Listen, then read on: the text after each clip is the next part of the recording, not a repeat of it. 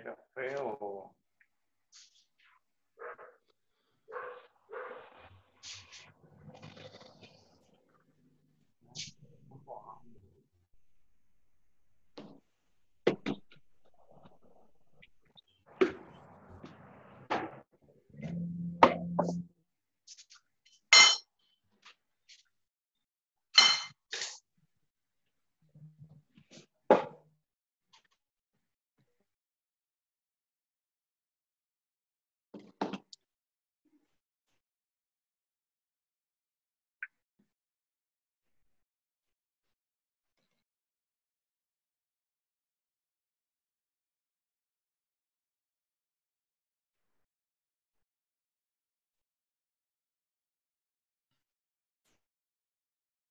Bien, ¿me escuchan?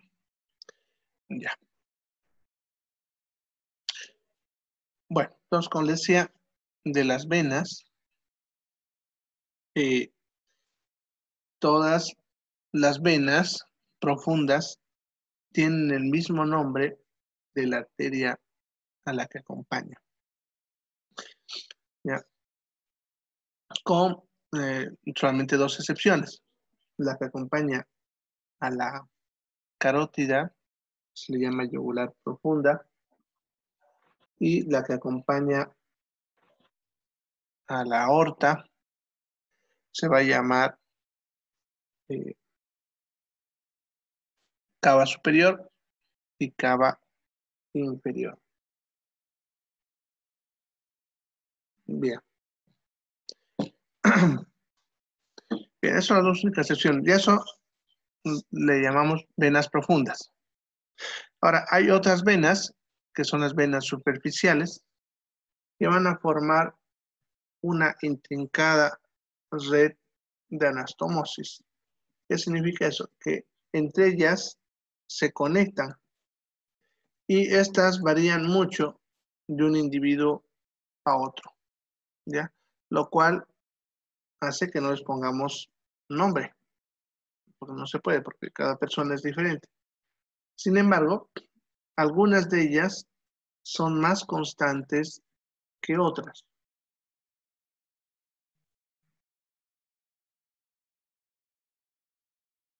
Y estas son las que vamos a ver. Vamos a empezar entonces con las del miembro inferior.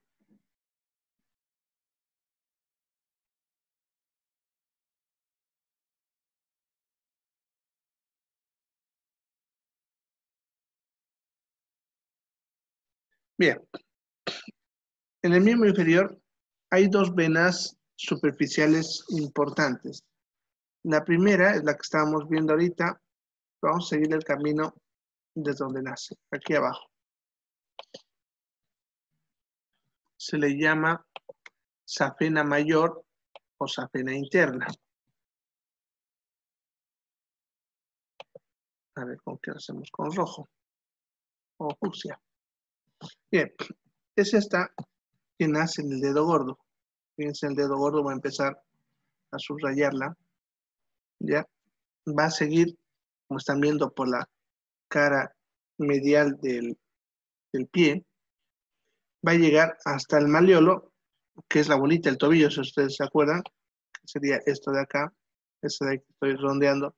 Sería la bolita del tobillo, que es el maleolo interno. ¿Ya? Pasa, por lo tanto, por delante del maleolo interno. Y ese es un punto para encontrarla. Luego va subiendo por la parte interna de la pierna, más cerca de la tibia. Esto que ven aquí es la parte de la tibia. Incluso se puede tocar a través de la piel. ¿Ya? Ya, como ven, va subiendo por la parte interna de la tibia. Cuando se acerca a la rodilla, se va yendo hacia atrás de la rodilla. Ahorita les voy a mostrar qué hace. Este trayecto que estoy mostrando es importante recordarlo para cuando uno necesita una vía endovenosa, ya sea colocar un inyectable, un suero, etc. Entonces sería esta de acá. Ya como ven, se va detrás de la rodilla hace una curva ahí y vuelve otra vez a aparecer en la cara interna, esta vez del muslo. Sigue subiendo por la parte interna del muslo y va a acabar, vamos a acá,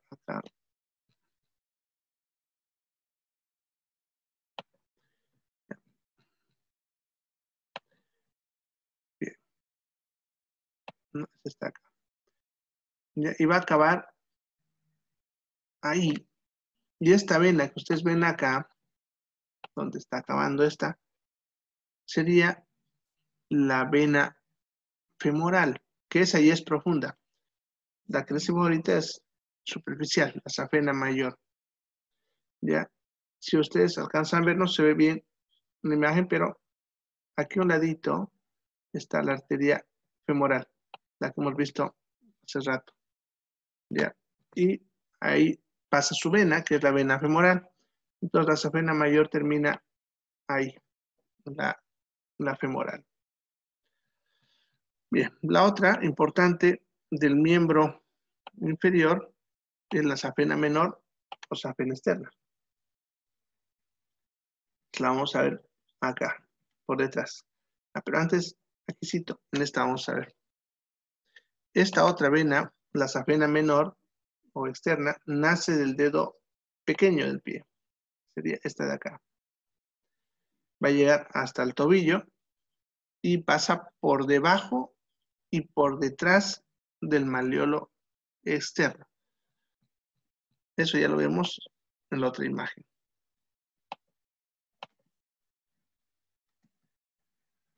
Acá. Entonces, es este que ven. Está llegando así, por debajo del maleolo. Ese es el maleolo. Ya. Luego por detrás, como ven, gira. Y de ahí empieza a subir por la parte posterior de la pierna.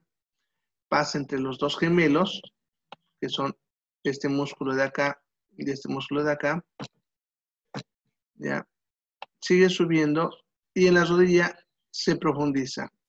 Y acá va a terminar en una vena profunda, que es la vena oplitea. Ahí acaba. Bien, entonces la safena menor, y la safena menor es la que em,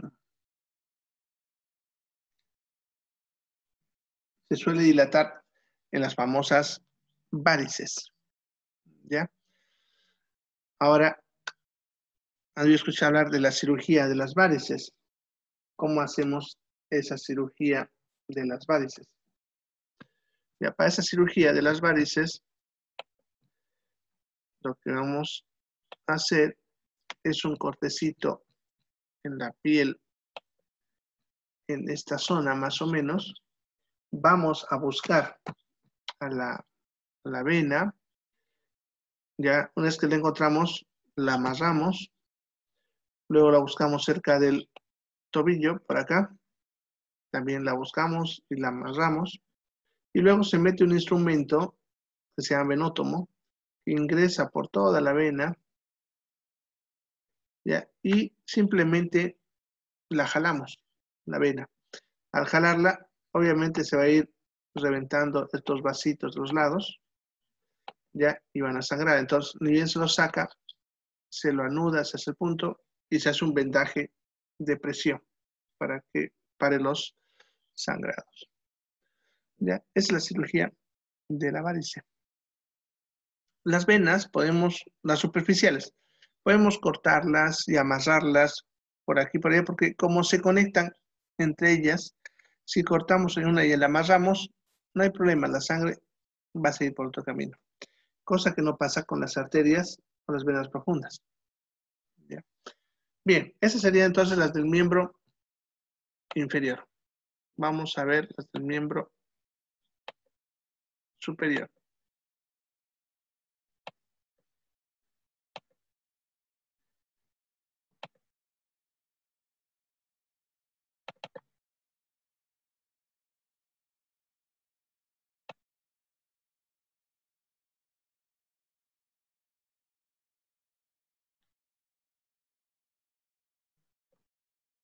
Bien, el miembro superior va a pasar lo mismo que hemos hablado. Las venas se anastomosan unas a otras y por lo tanto no podemos saber qué se llaman porque varía de un individuo a otro. Sin embargo, hay algunas que son más constantes y a esas sí podemos eh, nombrarlas. ¿ya? En el dorso de la mano, por ejemplo, tenemos un grupo de venas que si bien varían de una persona a otra, siempre son prácticas verlas. Son todas estas. Se les llama venas dorsales de la mano o red venosa dorsal. ¿Ya? Eh, varía mucho un individuo a otro, así que no hay para qué nombrarlas una por una, pero simplemente decimos que forman una red, en el dorso de la mano. La siguiente sería la, vena cefálica. ¿Ya? En esta imagen, por si acaso no se han dado cuenta, pero la imagen de la derecha es visto por detrás, la mano, y la de la izquierda es visto por delante. Entonces vamos a empezar con esta vena que viene desde acá, y aparece por acá, ya en el dedo pulgar. Ahí empieza la safena, y como ven cruza la zona de la muñeca, que este es un punto importante para encontrarla. Ahí la podemos encontrar fácilmente, y es uno de los puntos que usamos para buscar, para colocar ya sea medicamento, suero o sacar sangre. Luego, como ven, la vena va a seguir subiendo por la parte posterior del antebrazo, más o menos hasta la mitad del antebrazo, y de ahí gira y se va hacia adelante. En esta otra imagen es esta que está apareciendo, ¿no? Aquí donde desaparece, ven, aparece acá, viéndola adelante. Entonces, se vuelve anterior, empiezo a ir por la parte anterior del antebrazo hacia el codo. Ahorita vamos a ver cómo se conecta en el codo.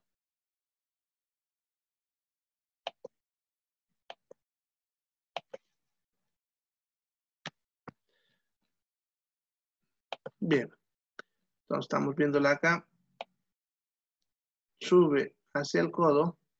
De ahí gira y se va hacia el borde del músculo bíceps. Este es el músculo bíceps. ¿Ya? Entonces, va a bordearlo al músculo bíceps hasta arriba. Y ahorita vamos a ver también en otra imagen cómo va, va subiendo.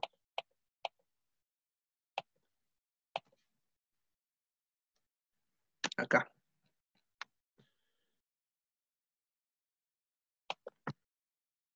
Entonces es esta la misma que hemos visto. Y como ven, está bordeándolo al bíceps. Ya, va bien por el borde externo del bíceps. Ya, entonces es fácil ubicarlo en estos puntos. Aquí en el codo es uno de los mejores lugares. Ahorita vamos a hablar. Ya, pero si no, uno puede palpar el bíceps, el músculo, y buscarlo en su borde. Ahí seguro lo vamos a encontrar a esta vena. ¿Ya? Más arriba es un poquito más difícil encontrarla, pero sí se puede, ya, ya que solamente hay que ver las relaciones anatómicas. Como ven, va a seguir subiendo y en un punto está entre lo que es el músculo deltoides, que es este, y el músculo bíceps. Luego, un poco más arriba, empieza a aparecer entre el deltoides y el pectoral mayor.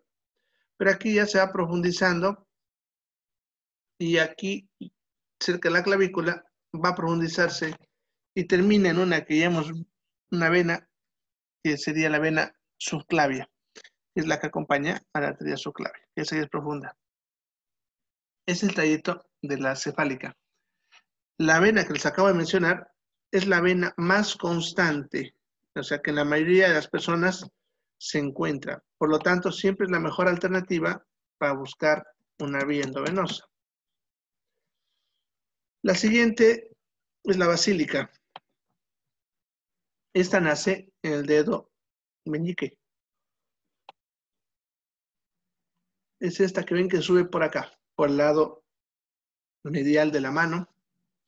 Luego cruza la muñeca, pero es más profunda, no se la nota como la cefálica. Avanza hasta más o menos un tercio del antebrazo y de ahí, como ven, se vuelve anterior. ¿Ya? Y aparece acá. Sería esta que vemos ahí a la izquierda.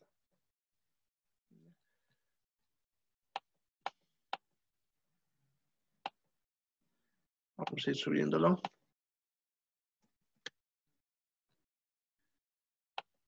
Bien, entonces sería esta. Sube también por la, por la parte anterior del antebrazo, llega hasta el codo. Y este también bordea el bíceps, pero por la parte interna. La cefálica en vista por la externa. Entonces, si yo busco en el brazo, puedo encontrar esta vena buscando el borde medial del bíceps. Vamos a verlo más arriba, donde termina.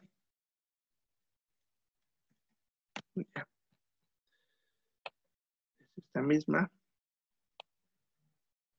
Llegando al codo, bordeando el bíceps. Va a avanzar un poco más y un poquito más allá de la mitad del brazo. Se vuelve profunda y termina en la vena humeral. En algunas personas puede subir un poco más arriba y terminar en la vena axilar, que son profundas. Bien, entonces estas venas son las más constantes.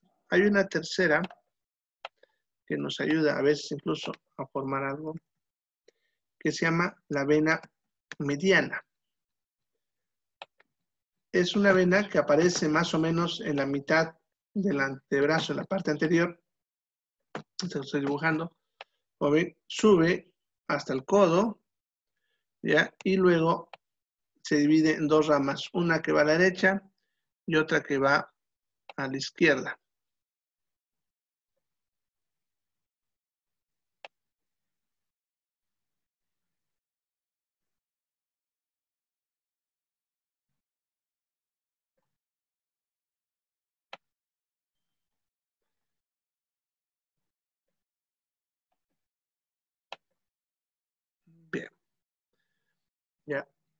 Ahora, esta mediana, por lo tanto, se va a conectar con la cefálica, que es esta que vemos que viene por acá, la que les abrí primero, y la basílica, que es esta que viene por acá.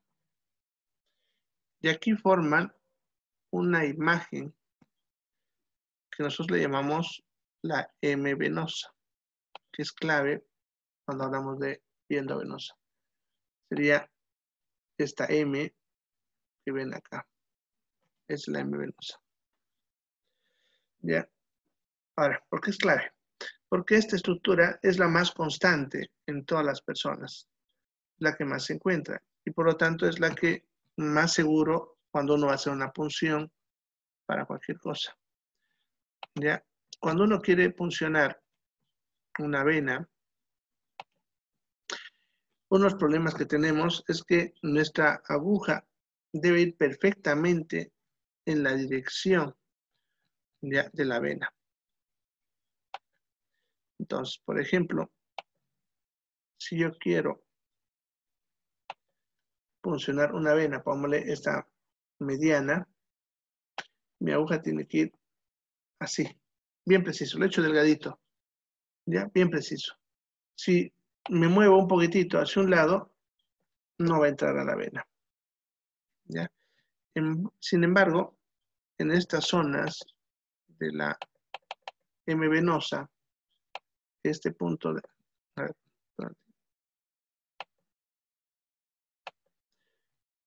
en este punto de acá y este de acá, es más fácil funcionar porque si yo meto una aguja ya fíjense, la aguja puede entrar en esta dirección.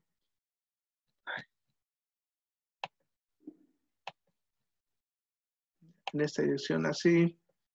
Puedo mover un poquitito hacia un lado, o hacia un lado, o hacia el otro. Y como ven, igual va a entrar. ¿no? ¿Ya? Entonces es importante conocer por eso esa M. Ya, si, si mi pulso falla un poquito, entra. No sé han donado sangre, ya, pero, y no es para que se asusten, pero cuando uno dona sangre, usan una agujota gruesa, es la más gruesa de todas. Y cuando uno se sienta y dice, ah, no me va a pillar vena y todo, y ellos, a la primera te mete. Estoy hablando de una aguja gruesa. Porque ellos se van a lo que es seguro y buscan este punto. ¿Ya? Entonces, de ahí de uno, meten la aguja. ¿Ya? Ahora, esta M menos es importante conocerla porque hay otro punto que sería este de aquí del medio, que es bien brotado. Y entonces cuando uno ve el codo, a veces ve una venota gruesa ahí y emocionado creyendo que le sirve, le mete la aguja en ese punto y si uno mete la aguja acá, pues se sale. Así que no hay que confiarse en esa venota gruesa que uno ve al medio.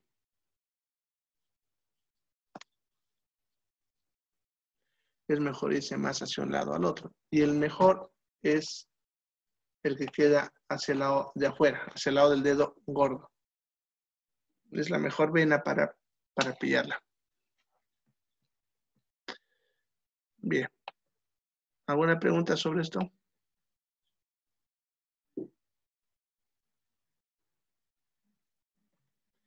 ¿Preguntas?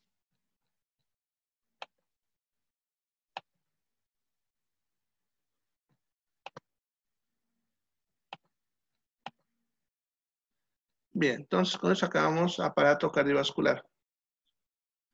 Vamos a ver ahora aparato respiratorio. Cuando hablamos de aparato respiratorio, lo vamos a dividir en vías respiratorias y pulmones. Y de las vías respiratorias vamos a ver vías respiratorias altas, vías respiratorias bajas.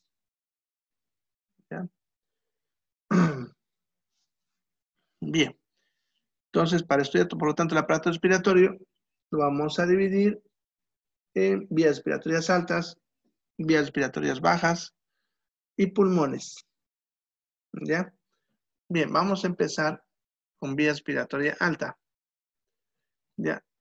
La, palabra vía se refiere a que eh, es el camino, en este caso, que sigue el aire. ¿no? El camino que sigue el aire desde afuera hasta los pulmones. Eso sería la vía respiratoria. ¿Ya? La vía respiratoria alta sería entonces desde el punto de la nariz hasta un punto que se llama glotis. Ahí te lo voy a mostrar. Esa, esa parte de la vía.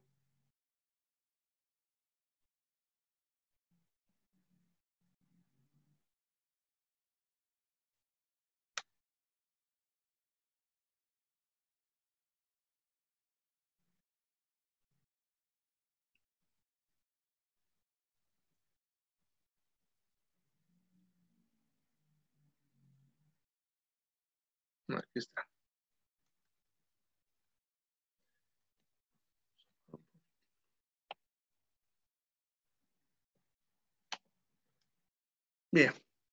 Entonces, el aire, cuando respiramos, va a entrar por acá, va a avanzar por acá y va a penetrar hasta acá, en este dibujo.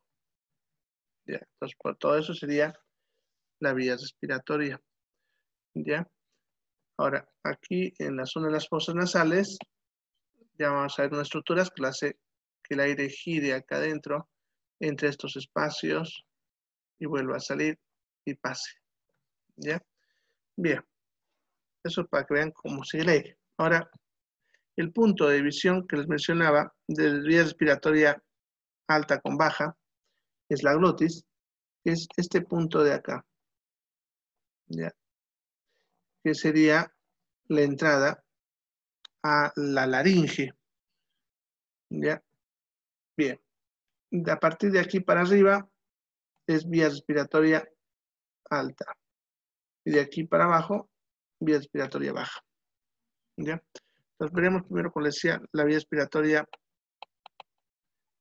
mm, alta. ¿Ya? Bien. La primera parte de la vía respiratoria es las fosas nasales. Las fosas nasales empiezan en este orificio de acá, que es el orificio de la nariz, los agujeritos que tenemos, se llama narinas. Luego de ingresar las narinas, tenemos esta zona, que si ustedes quieren, podemos decir que es la nariz por dentro. Esta zona de acá. Estoy resaltando.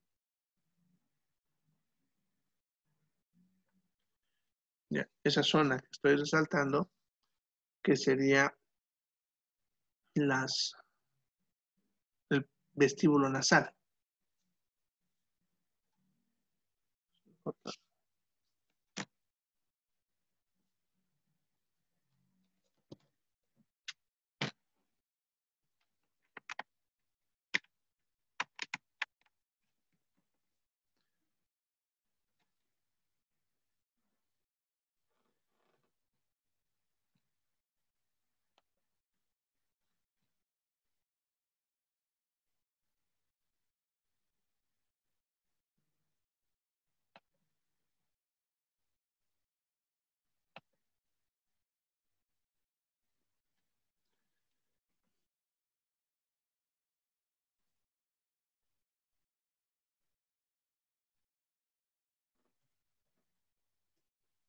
Bien, no sé si me escuchan, pero yo no me escucho, se corta, parece.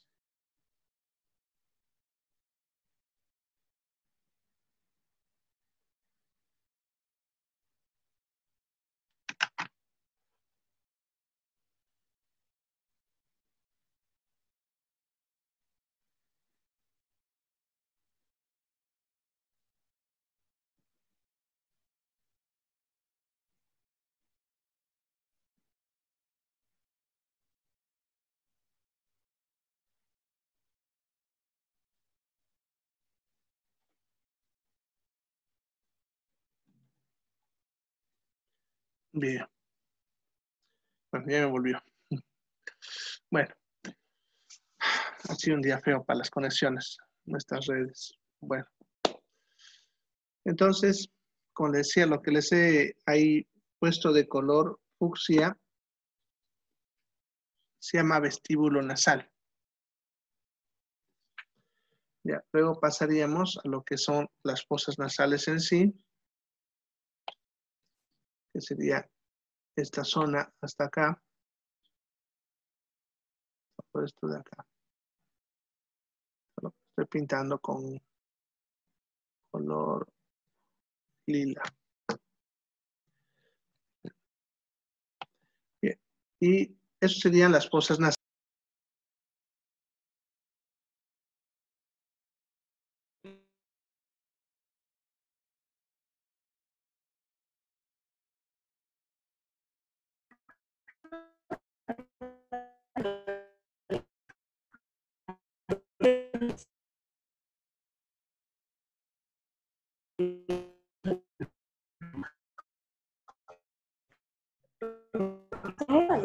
Hola. Porque Bien.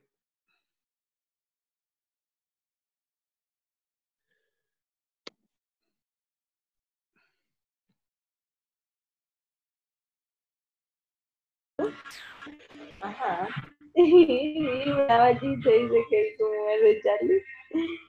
Su mujer de Charlie pues se enteró. Ya, ya se habían ido todos.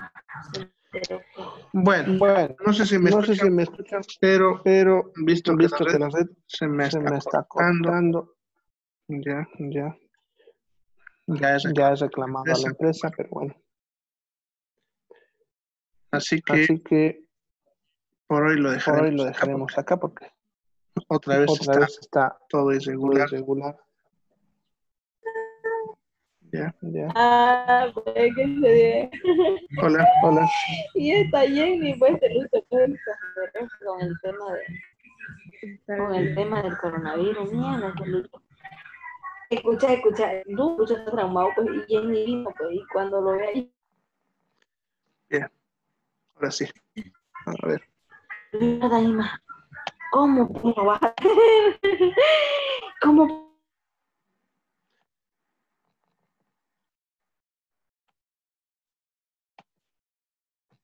bien, entonces voy a tratar de ver cómo resolver ese problemita con la red. Ya, nos vemos el lunes. Ya, si hay alguna pregunta sobre lo que hemos visto hoy día, envíenme un mensajito al, al chat. Ya,